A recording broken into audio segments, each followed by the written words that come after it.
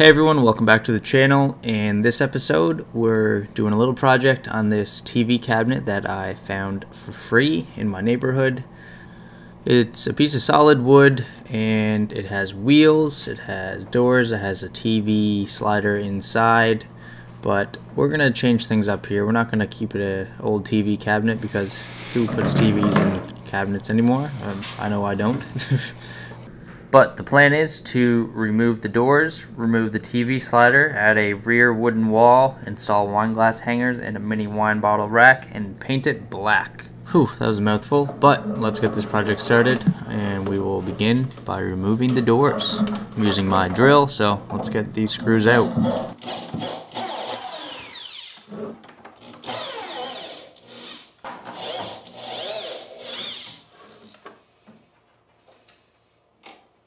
Couldn't get my drill right in on the last one up top, so decided I will try to remove it with a screwdriver. And door one is removed. And now on to door number two.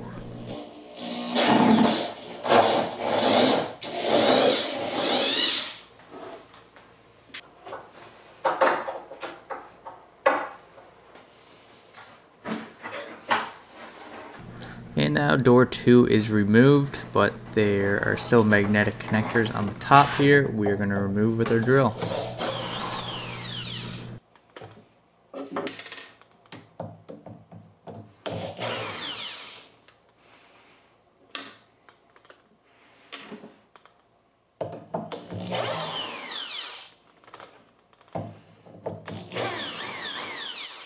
Perfect, we have the doors off and the hardware. Now let's remove this old TV slider.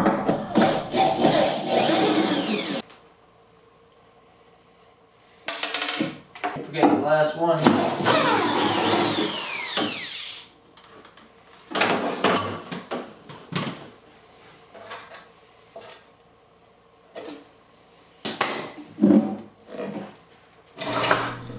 And now it's removed, but let's move on to the sanding. I start with 100 grit and then go to 180 grit with my random orbital sander. We're not trying to sand down to the bare wood, we're just sanding to scuff up the surface so the paint adheres better and to remove any small scratches in the surface.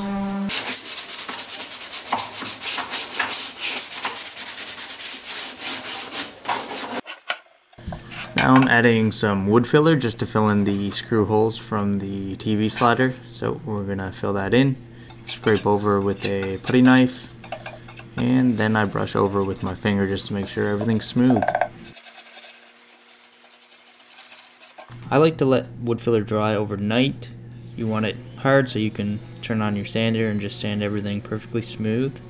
I'm actually using a 400 grit sander just on the wood filler just so we can make it perfect.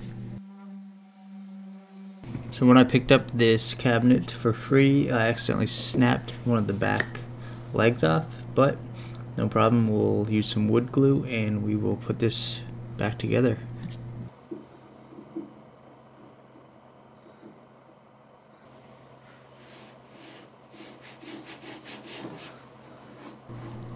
So I'm going to use some painter's tape just to hold the cracked piece off and let it completely dry.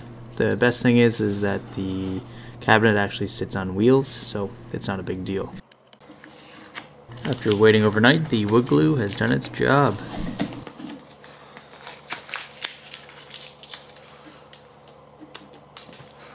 I did end up putting some wood filler on over the crack just so everything looks good in the end.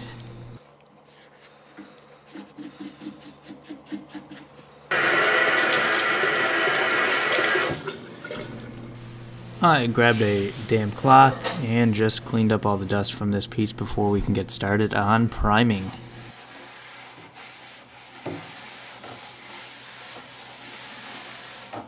I'm priming this piece with Rust-Oleum Flat White.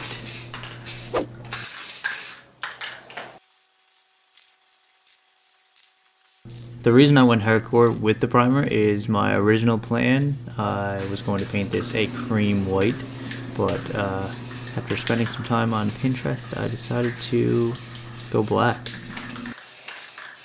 It never hurts to do a layer of primer anyways. It's just another surface that protects your piece. Do a quick sand with the 220 grit sanding sponge and it's ready for paint. But since we have a huge hole in the back side of this cabinet, we are going to build a wooden wall.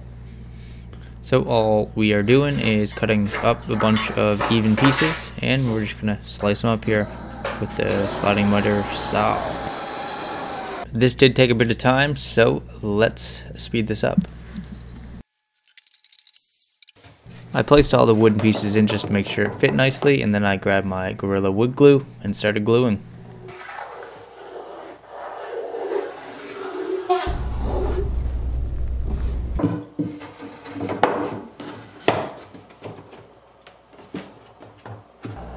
As you can see, I used a generous amount of wood glue. I did not want this wall coming down. But anyways, after letting this wood glue dry, we're ready to get started on painting.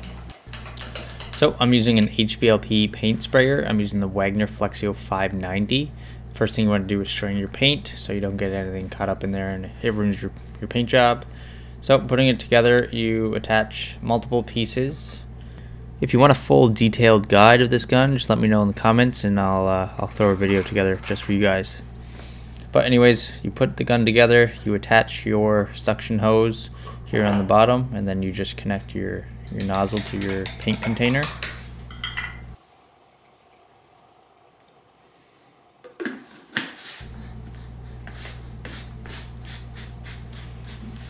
And then you want to connect your nozzle to your it's your turbine piece which gets the air and sprays it out for you.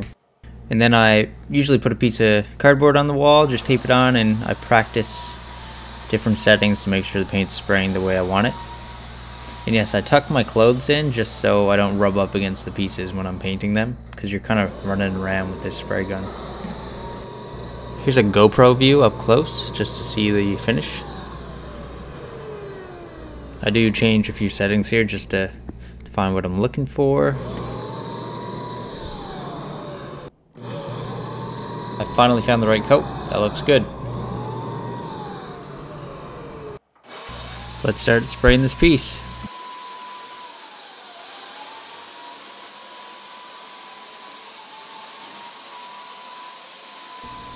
Typically I hold the gun about 5 inches back from the surface I'm painting and you want to keep your gun straight with the piece you're painting as well. This gives the best results.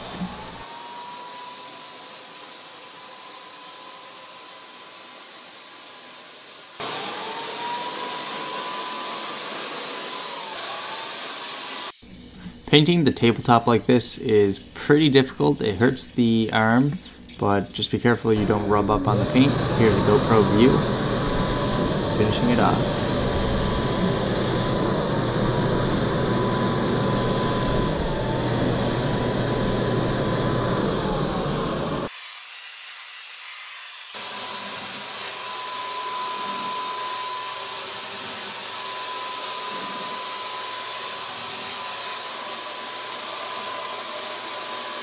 Then I did some light sanding with 220 grit sanding sponge in between coats. So I just found this nightstand for $10. We're going to spray it while we're doing the second coat and we're going to make a quick 100 bucks. So why not, hey?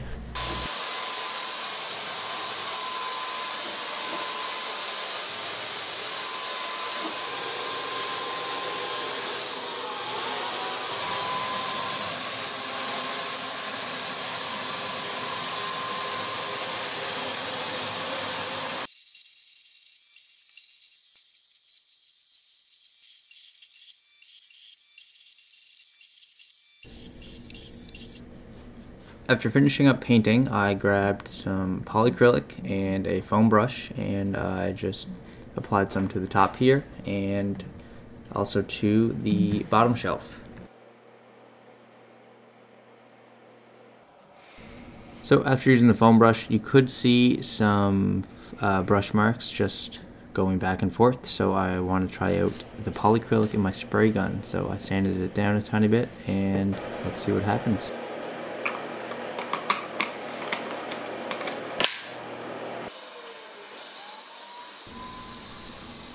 Okay, so the polyacrylic sprayed really nice but there were some issues that sometimes the gun would kind of bog out on me, but once it was going, it was good. And another issue was I had some drips that were coming out of the gun, and that wasn't good. And you can see one here at the end. I was pretty annoyed by that one, I'll tell you that. I did just grab a clean rag and the foam brush and kind of just mixed it in so you couldn't tell. It worked out pretty good.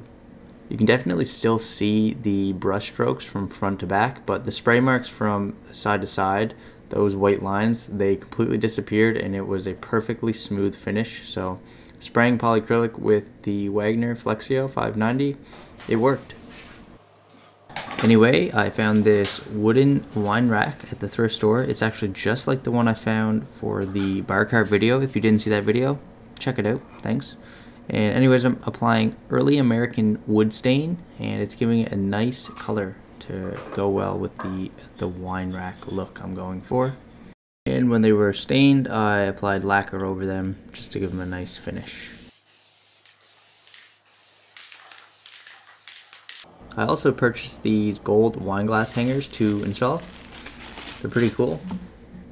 So what I did here to install them, I measured two inches off for the first one, and then I used that piece of wood that I have behind it. I measured four inches uh, between each screw hole, and then I pre-drilled each uh, hole where the screw was going, and then I screwed them in with a screwdriver, and it was pretty simple.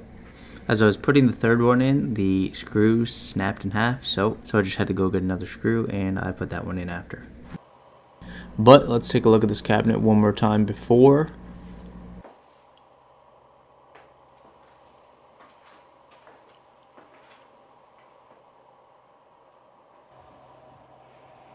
And now let's take a look at what it looks like after.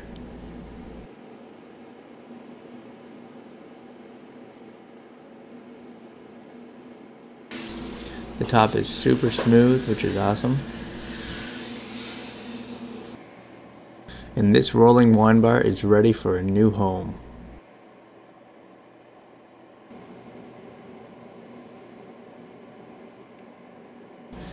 If you guys like this furniture flip, don't forget to hit that thumbs up and subscribe button. I appreciate you guys watching. Thanks for the support. See you next time.